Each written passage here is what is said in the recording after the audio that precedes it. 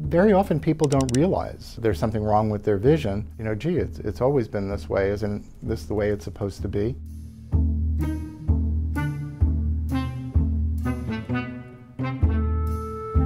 Why should I go see an eye doctor?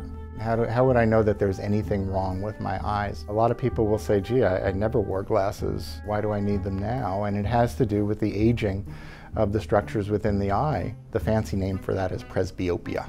And so some things will tell you, right? You're noticing that your vision is becoming blurry.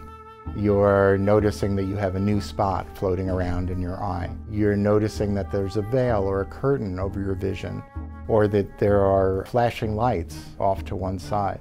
Let me give you a startling statistic. 80% of correctable vision loss in this country is due to an error that can be corrected with glasses. And glasses focus the light in the proper place you know, in the back of the eye on the retina, which is the nerve tissue that senses light. And you can have good sharp focus if all you have is this trouble focusing.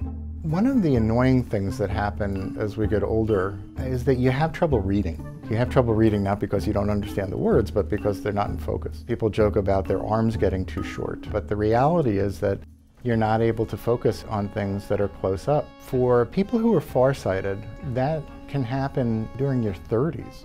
For people who are nearsighted, it may not be until your 50s or 60s that you have that problem. For most people, it happens sometime during their 40s.